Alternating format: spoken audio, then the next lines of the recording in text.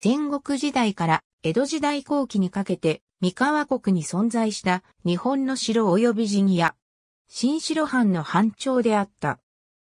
天正三年、長篠の戦いで長篠城を死守したことで知られる奥平信正によって築城されたという。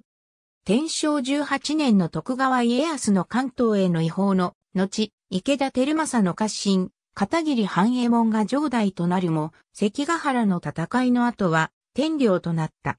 水野氏などの領有を経て、慶安元年に丹波国より菅沼貞真が七千国で入って、旗本となり、同時に陣屋を構えた。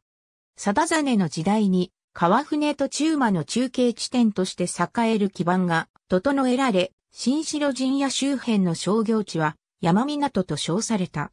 菅沼市はこの地で明治時代を迎えたという。